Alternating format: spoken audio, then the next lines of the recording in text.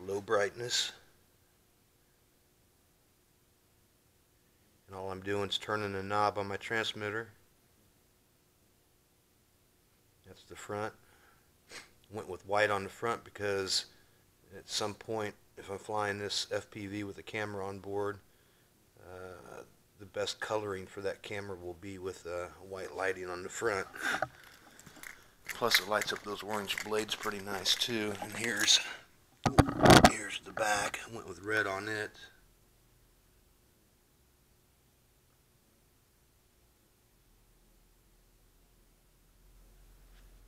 I'm gonna kill the lights.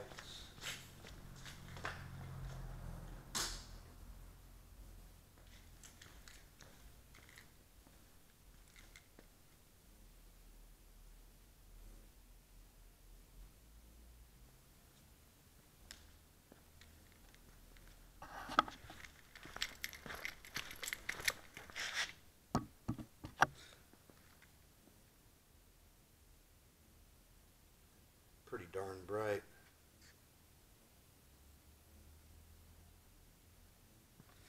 Let's give it a little hover here.